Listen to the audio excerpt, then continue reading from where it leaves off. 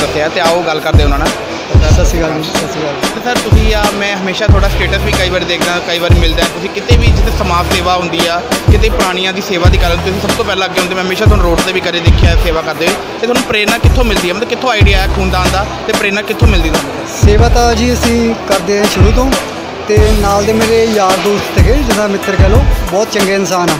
ਉਹ ਖੂਨਦਾਨ ਦਾ ਸੇਵਾ ਕਰਦੇ ਹੁੰਦੇ ਸੀਗੇ ਤੇ ਉਹਨਾਂ ਨਾਲ ਮੈਂ ਮਿਲਿਆ ਤੇ ਉਸ ਤੋਂ ਬਾਅਦ ਫਿਰ ਆਪਾਂ ਰੈਗੂਲਰ